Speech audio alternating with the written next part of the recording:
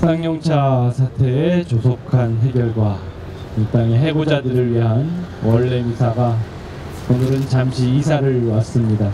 직장을 잃고 집을 잃고 가족을 잃고 동료를 잃은 이들에게는 매섭고 슬프고 고달프고 가슴 아픈 계절입니다.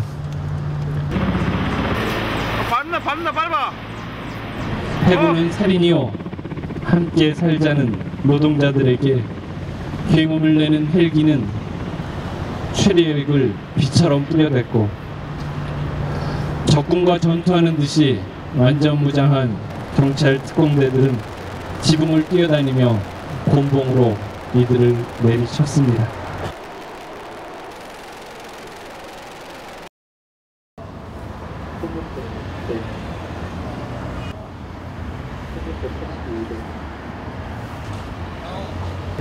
또 해고 6년의 아픔과 고통 속의 이 해고 노동자들 삶 그리고 떠나갔던 이 25명의 가족들 동료들 기억하면서 또 일배를 합니다.